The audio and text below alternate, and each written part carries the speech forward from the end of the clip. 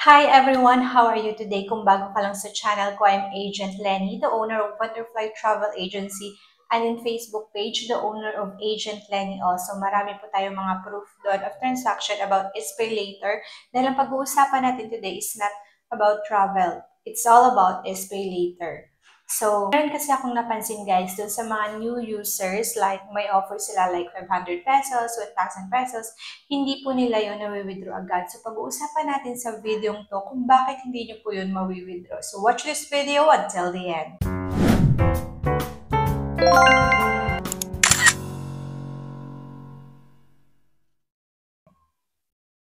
As I said, pag-uusapan natin kung bakit po kayo hindi nakaka-withdraw kahit may offer na po kayo ng SPay later. First, hindi pa po kayo activated or hindi nyo pa po na-verify yung inyong Shopee Pay. Meron po kasing lumalabas na pera sa inyong SPay later pero hindi nyo siya mawi-withdraw gawa nga nung hindi pa kayo verified or hindi pa kayo nakapag-send ng uh, latest ID nyo po gamit ang Shopee Pay. So, kailangan nyo munang i-update yun, guys. Sabi nila, pahirapan daw ngayon yung pag-process nun, pero kailangan nyo po yun para makapag-cash out kayo.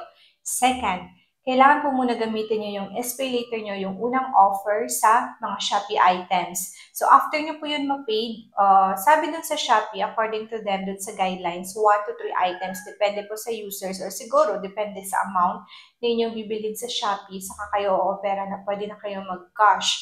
Then, third guys, pag kayo ay new users, kailangan po muna na magbayad din kayo ng bills using SPay later sa Shopee. And then, fourth naman po, during your order, kailangan din magkaroon kayo ng like Gcash uh, payment, hindi lang po basta COD, meron din po kayong mga wallet transaction para po makash nyo po yung pera nyo. So, depende po yan sa mga users guys kung alin dyan yung mga kulang sa inyo or meron din naman kahit tatlo lang dyan is makomplete nyo para maka-withdraw kayo or magiging cash yung inyong SPay later.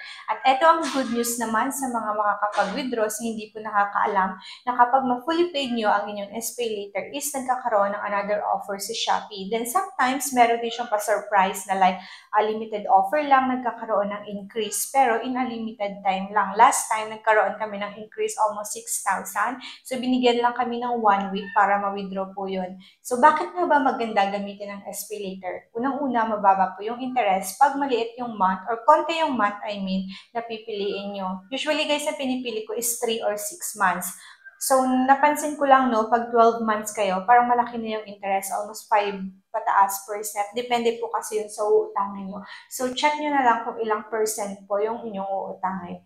So, yun lang pong update natin as of now sa mga users na hindi nakaka-withdraw. Ito po yung sagot kung bakit hindi pa po na-withdraw yung pera nyo. So, ingat po ang lahat sa pagka-cash out. Kung meron naman kayong QR, why not gamitin nyo na lang sa inyo? At huwag na po kayo makipag-transact sa iba. Pero kung wala naman, you can message us and check our legitimacy and sa mga transaction namin on Facebook page.